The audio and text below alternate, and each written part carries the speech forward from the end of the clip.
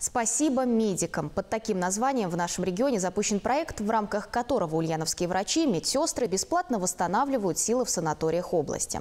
Это касается тех, кто сейчас на передовой в борьбе с COVID-19. В одном из ульяновских санаториев сейчас поправляют здоровье медицинские работники, которые переболели COVID-19. Среди них Харгаил Казымов, врач Центральной городской клинической больницы. Он хотя и хирург, но красную зону приходилось посещать часто. Для консультаций проводил и операции операции пациентам с этим недугом. Вел прием экстренных больных, поступающих без справок с отрицательным результатом на новую инфекцию. Сам доктор Казымов ковид перенес тяжело. Несколько дней провел в реанимации. Первые 3-4 дня для меня было очень тяжело, когда я был на кислороде.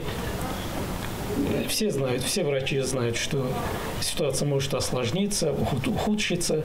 Можно, как говорится, попасть на ИВЛ, а там чем дело закончится, тоже по-разному заканчивается. Травматолог-ортопед Ольга Демидова также проходит здесь своего рода курс реабилитации после ковида. И у нее свои наблюдения, кто тяжелее всех переносит эту новую инфекцию. На что обратила внимание, в первую очередь, это все люди с сожалением.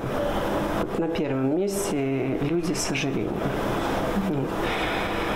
Дальше уже это сахарный диабет, это уже сердечно-сосудистые заболевания. Ну, как правило, это все люди за 100 килограмм, 130, 150, 160, 140 килограмм такие есть. Ольга Демидова рассказывает, что сами медики, которые работают в красной зоне, могут терять за одну смену до двух килограммов. Этому способствует воздухонепроницаемый костюм персонала. Когда э, после выхода из зоны доктор или медицинский работник снимает э, маску, из нее просто выливается вода. Сейчас медики поправляют свое здоровье, уповают на радоновые ванны. Они благоприятно действуют и на органы дыхания, и нервную систему приводят в порядок. Главное тут отдохнуть, восстановить сон, восстановить психику. Самый первый эффект, который пациенты замечают, принимая радоновую процедуру, это седативный эффект.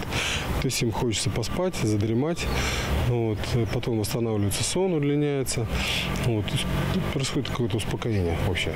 В дальнейшем, позже, через 2 2-3 недели наступают эффекты именно влияния на иммунитет. То есть э, иммуномодулирующий эффект радонотерапии заключается в том, что аллергические реакции становятся менее выражены, а способность иммунитета отвечать на вот э, именно инфекционные процессы, вирусную и самую тематику возрастает. То есть возрастает и иммунитет противовирусный и противомикробный. Все медики, которые не работают постоянно в красной зоне, но видят, как там работают коллеги, считают их труд героическим. Тем более, что многим пришлось самим пройти через эту болезнь. Почти половина людей относится к этому делу скептически, что это придумали, что этого на самом деле нет. Ну, это на самом деле есть. И надо относиться очень осторожно. Действительно соблюдать все меры предосторожности. Человек просто может умереть. Абсолютно здоровый человек просто взять и умереть.